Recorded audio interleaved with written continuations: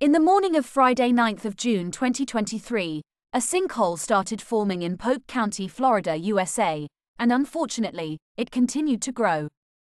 Emergency officials are considering this an active sinkhole, which means it is not done growing yet. It was about 75 feet or 23 meters wide and 120 feet or 36 meters deep. The sinkhole isn't currently threatening the roadways, but officials said the vibrations from nearby traffic can cause it to collapse further, which is why they closed it off.